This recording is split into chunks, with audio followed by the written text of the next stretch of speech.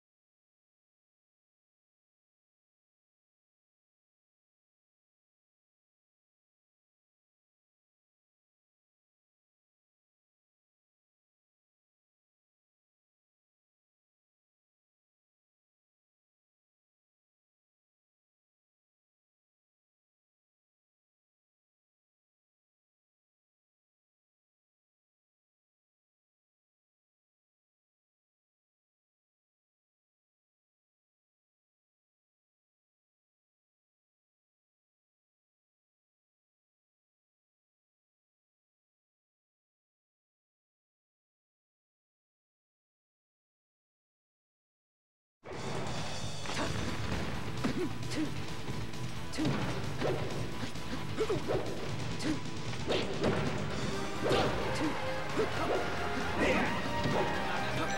hello, hello. Yeah, yeah, yeah. Bubba dabba dooba da. Hello, yeah, cool. Is there a way to get the feet up, to get the, is... Okay, what's the delay is the real question. Uh, yeah, from there to there, I'm wondering what the delay is. Or like, because if I'm talking, I'm just wondering, I should probably just do it off this. Okay. Okay, so this is winners semis, okay. Okay, Shrooms Reno, I I think Shrooms Reno were first seed in this tournament, uh, and then I think behind them you and FW, but game two, obviously in a situation where two stocks for either team can turn into lead, especially if they're able to retain their next stocks. She can in vulnerable position, but able to recover high enough that she doesn't get the lag frames on the down up B, and no one quite fast enough to get to her while she's falling. And this percent being built on Falco is pretty critical since she and Martha staying alive. There we go. Soft finishing by the edge guard, and uh, only Waffles taken care of. Shroomed. Accidental team throw. Red team in the corner. Reno did a good job of walling them out, and he sort of postured as if he was going to keep walling them out and then ran up to the down smash. Didn't quite work out, but it was an interesting mind game. He didn't get that punished for it. But here we go. Red team in the center again, but back in the corner. Beautiful rest, but Shroom is right there with the punish.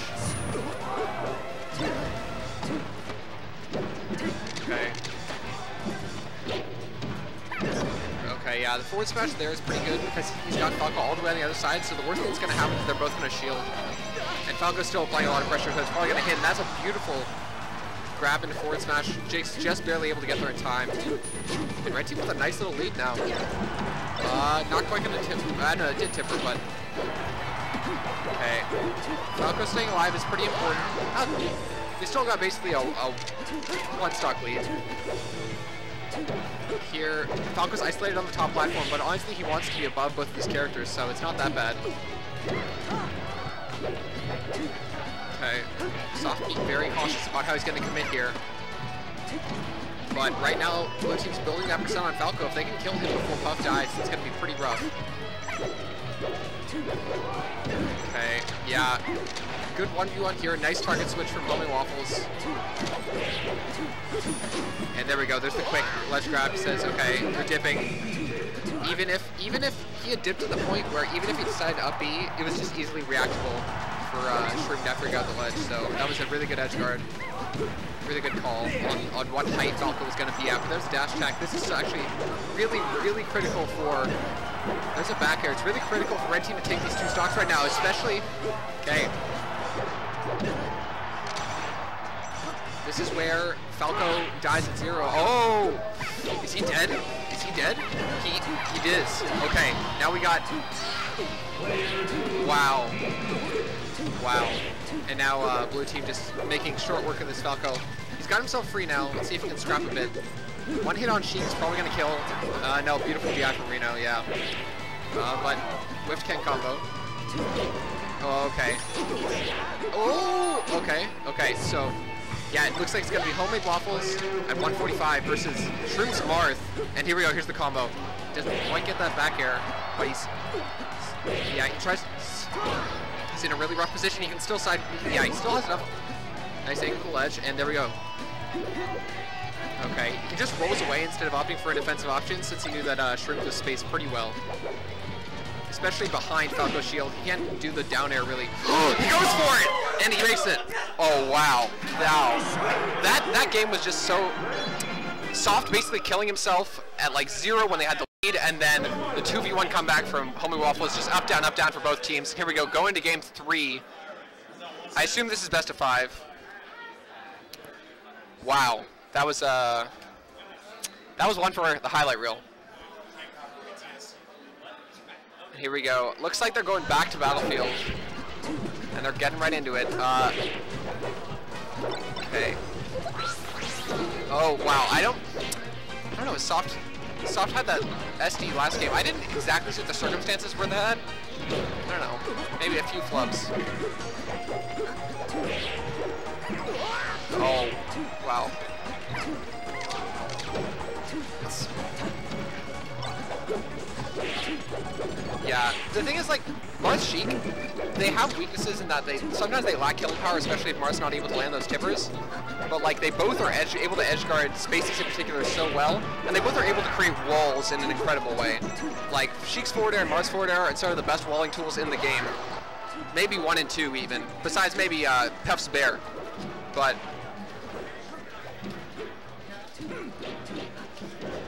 and they're, they're making it work for sure, but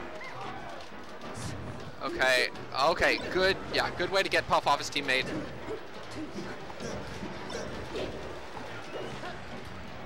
I think, uh, this lead is gonna, mm, okay, yeah, this, this lead is starting to solidify into something really pretty insurmountable. Eh, never mind. He just they just need to kill kill Marth and then they're gonna stock down. But there we go. Yeah, that's gonna be an edge guard on Falco, and Puff is in the corner. Goes for a rest. Uh, not the worst because he knows Invincible Falco is gonna come down soon, and he's gonna be able to get him out of that rest whenever he wants. And there we go. Oh, he misses the uh, the jab on that to get him out, but not a huge punish since it is Sheik. And Marth, like, unless he lines up a really quick tipper on his down smash or his forward smash, can't do anything really quick because the norm like normally Marth can just do an easy line up the tipper in singles for the rest or line up just even neutral charge up neutral B. But neither of these characters has really a fast thing with that, which doesn't require like a decent amount of spacing to, to kill a puff that's been rested, that's that's missed a rest, or even hit a rest. Here's red team. Okay, tries to save him, but the needles are just. Okay, yeah, there's down off the ledge. Two and a half stock lead for blue team. Okay.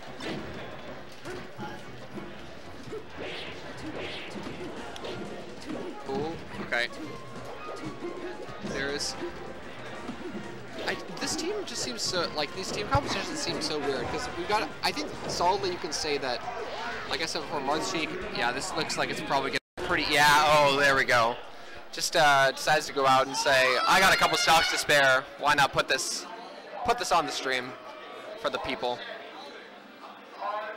But, uh, I don't know, Falco Puff, like, seems seems like Falco and Puff want very like you could say they complement each other, but they do seem to want very different things in teams. Like Falco's gonna like he can wall out with bairs and up tilts, but like he's gonna want to go in, get a down air, and then start something quick while while Puff is keeping the other person occupied so that well his teammate is keeping the other person occupied so he can just do this combo, right? But Puff I feel like is someone who's gonna want to set up a wall and maybe get a, you know a rest, but like it doesn't I, I don't see them the culminating the strengths that well, but of course you have Falco being able to wake up Puff from a distance with laser maybe, but even Falco's one of Falco's strongest things in teams is his ability to save his teammates recovering with lasers, but that's not really going to help Puff that much since she doesn't get her jumps back when you get hit by a laser in the air. So, uh, I don't know. Yeah, just, I like up throw there, just gets Martha out of the way, maybe trying to set up for a two-gun combo, and then an up smash just gonna tip her into uh, killing Puff there. And there's a nice little team combo. Yeah, Homie Waffle's not dead yet. And there's a nice, oh, beautiful edge guard from Soft. Sheik right there to try to stop it, but uh, a little too late. And, uh, okay, yeah. I mean, like, I could see a situation in which Falco is, is comboing someone behind Puff and Puff's keeping the other person away with bairs, but that would be pretty hard to, to set up. Especially if the other team is doing a good job of uh, staying together. Could work in a sandwich, though. Okay.